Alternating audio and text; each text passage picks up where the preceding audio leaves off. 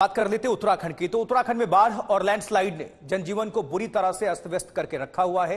अंदरूनी गाँव कस्बों के साथ साथ इलाके के हाईवे भी इससे प्रभावित हैं। कम से कम दो हाईवे खतरनाक लैंडस्लाइड की चपेट में हैं और उत्तराखंड में उत्तराखंड में सैकड़ों लोग इसमें फंसे हुए हैं। मानसरोवर गए हुए यात्रियों को एयरलिफ्ट करके बचाया गया है। अब तक की गतिविधियों को आपको हम दिखाते हैं इस रिपोर्ट के ज़रिए।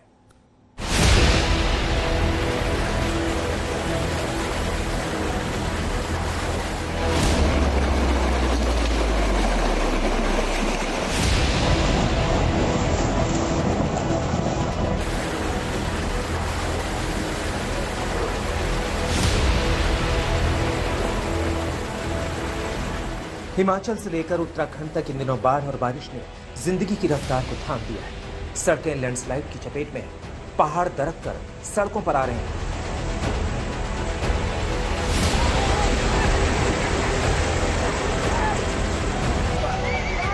सबसे ताज़ा लैंडस्लाइड रुद्रप्रयाग में हुआ। बद्रीनाथ हाईवे रुद्रप्रयाग के पास ये पहाड़ अचानक भर भरा कर रोड पर आ गिरा।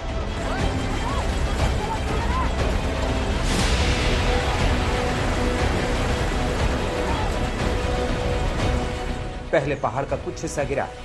इसके बाद देखते ही देखते पूरा पहाड़ खिसक कर नीचे आ गया। बड़ी बड़ी चट्टाने और पेड़ भी जमींदोज हो गए।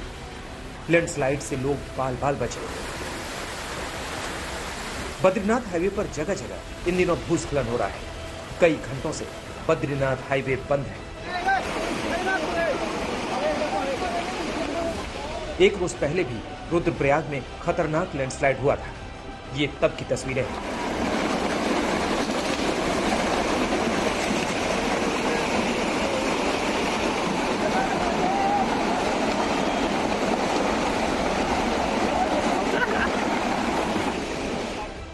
पिथौरागढ़ ज़िले के मुनस्यारी से भी भूस्खलन की दिल दहला देने वाली तस्वीरें सामने आई। पेड़ पौधे झाड़ियों और बोल्डरों के साथ सड़क पर भरभरा कर पहाड़ गिर गया। भूस्खलन की वजह से मुनस्यारी से चौना हरकोट को जोड़ने वाला ये सड़क मार्ग पूरी तरह से बंद हो गया है। वो तो शुक्र था कि कोई गाड़ी चपेट में नहीं आई, वरना क्या हाल होता, समझा जा सकता है। पिथौरागढ़ में कैलाश मानसरोवर सड़क बंद होने के कारण बूंदी में कई तीर्थयात्री फंस गए। इनको 36 घंटे बाद हेलीकॉप्टर से रेस्क्यू कर धारचूला पहुँचाया गया। हेलीकॉप्टरों ने कुल आठ उड़ानें भरी। यात्रियों ने जान बचाने के बाद राहत की सांस ली। हम सब बाईस यात्री आदि कैलाश की यात्रा में थे। यात्रा अच्छी तरह संपन्न हुई। वापस आते टाइम बुद्धि में रोड ब्लॉक होने की वजह से हम फंस गए थे। तो प्रशासन ने हमारे लगभग 35-36 घंटे के बाद में हमको एयरलिफ्ट किया। इसके लिए हम प्रशासन के और सरकार के बहुत आभारी हैं। बागेश्वर में भी बारिश की तबाही पसरी हुई है। कहीं सड़कों पर पहाड़ टूट कर बिखरा है तो कहीं बरसाती नालों के साथ सड़कें ही बह गई। कई इलाकों का बाहर से संपर्क ही कट गया।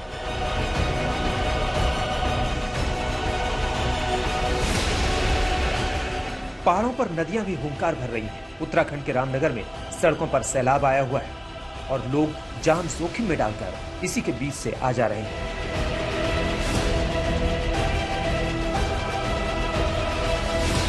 उत्तरकाशी में गंगा की लहरों का ये शोर खौफ पैदा कर रहा है। गंगोत्री धाम में गंगा का जलस्तर बढ़ने से गंगोत्री धाम के पैदल रास्ते के नीचे दीवार पर भूख कटाव हो रहा है, जिससे पैदल रास्ते सहित आसपास बने घरों को बड़ा खतरा बना हुआ है। गंगा नदी भी खतरे के निशान से ऊपर बह रही है, जिसने आसपास रहने वालों की टेंशन बढ़ा दी। है देहरादून, टिहरी, पौड़ी, नैनीताल, चंपावत उधम सिंह नगर और हरिद्वार में भारी से बहुत भारी बारिश हो सकती है। हिमाचल के कांगड़ा में तो बारिश ने घर की नींव इस कदर हिलाई कि घर ही भरभरा कर गिर गया। पहले इस घर में दरारें आई और कुछ ही मिनटों के भीतर ये नदी में समा गया। पहाड़ों में बारिश ने इन दिनों ज़िंदगी को पूरी तरह अस्त व्यस्त कर दिया है और फ़िलहाल राहत मिलती नहीं दिखी। उत्तरकाशी से ओंकार बहुगुड़ा और बागेश्वर से अमित भारद्वाज के साथ आज तक दे रहे